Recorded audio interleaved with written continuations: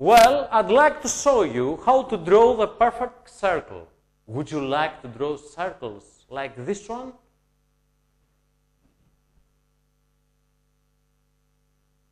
Is it good? Or this one? Is it better? Or this one? Is it good enough?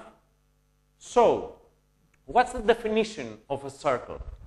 A circle is an amount of uh, points that have a certain distance from another point that's called the center of the circle. So, is it necessary for this another point to be in the, in the same plane as the other points of the circle? No, it's not necessary. This other point could be our wrist or elbow or shoulder. So let's watch what happens if we use them correctly. If I want to draw a circle with a medium diameter, so I could use my elbow. This is the certain point from which the other points have a certain distance, which remains constant during this operation. Okay, so my, my elbow remains in the same certain place so that the, its distance from the other points of the circle remain constant. Let's watch it. I'm using my elbow. Is this circle good enough? Now, I would like to draw a circle with uh, a better, um, uh, with a larger diameter. So, I could use my elbow. Let's use our elbows.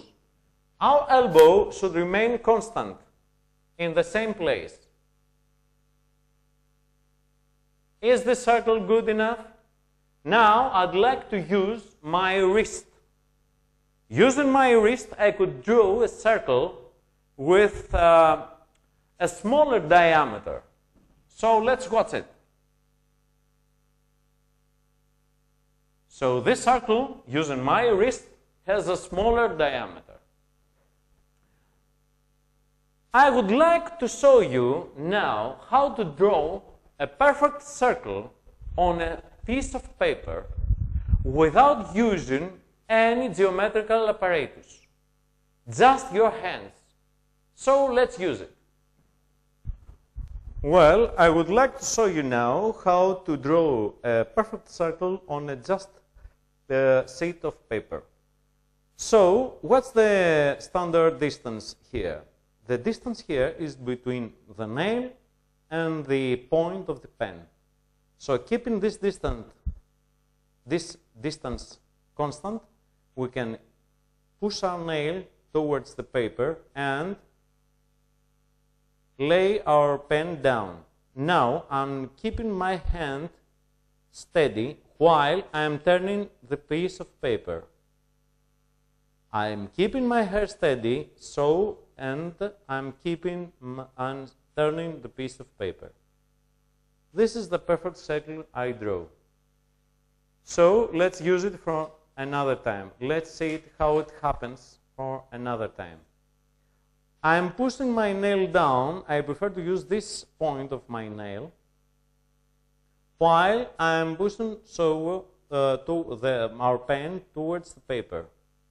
I'm turning the, pa the paper while I'm keeping steady my hand.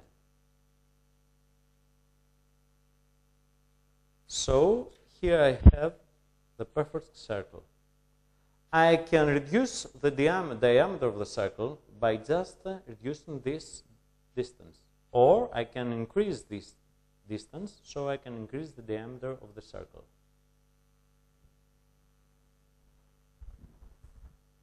Well, my students always ask me, how can I draw so perfectly circles? So now you know the secret. So go practice yourself and uh, have a good luck making the perfect circle. Goodbye.